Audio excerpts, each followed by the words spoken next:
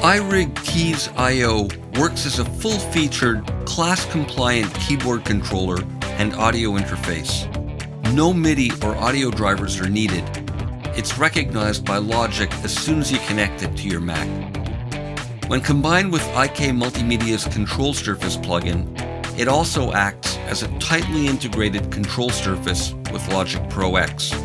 Register your iRig Keys IO on the IK Multimedia website and log in to your user area. Quit Logic if it's running, and then download and install the firmware updater and the iRig Keys IO control surface plugin. Relaunch Logic and it will appear on your control surface's setup page. The keyboard is recognized right away by Logic and is ready for playing. In control surface mode, use the data knob to position the playhead within Logic. Press on it to enable or disable cycle mode. The preset button acts as a record button, and the edit button is used to stop or start playback.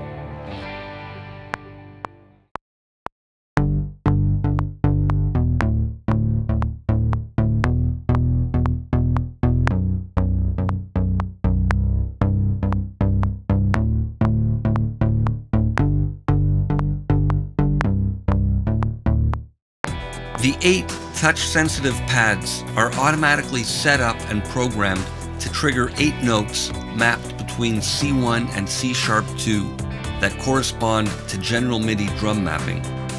This makes it great for playing in drum parts.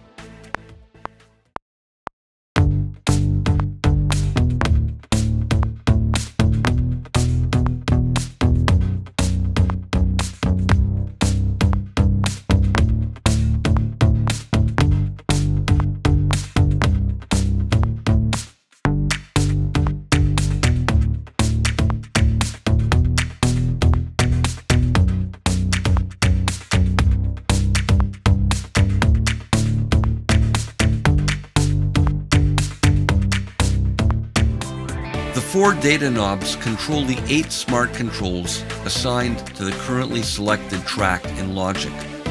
Smart controls are used to edit either native or third-party instrument or effect plugin parameters. Use the Alt button to access Smart Controls 5 through 8.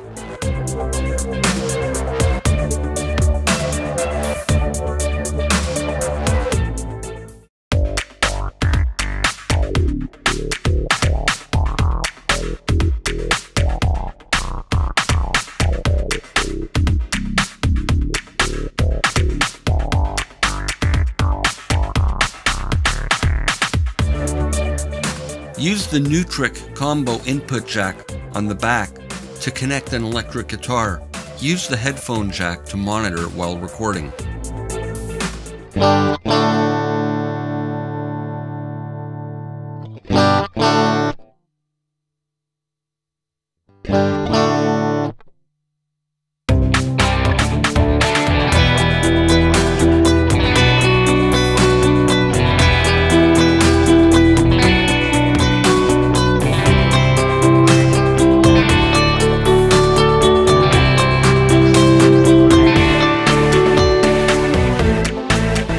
To record your voice, plug the mic cable into the back of the keyboard.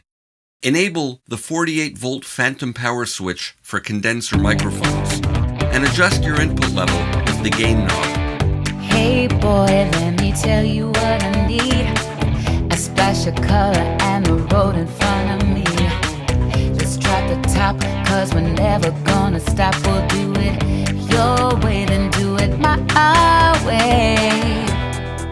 The bundled T-RackS plugins for vintage analog style EQ and compression to warm up your tracks.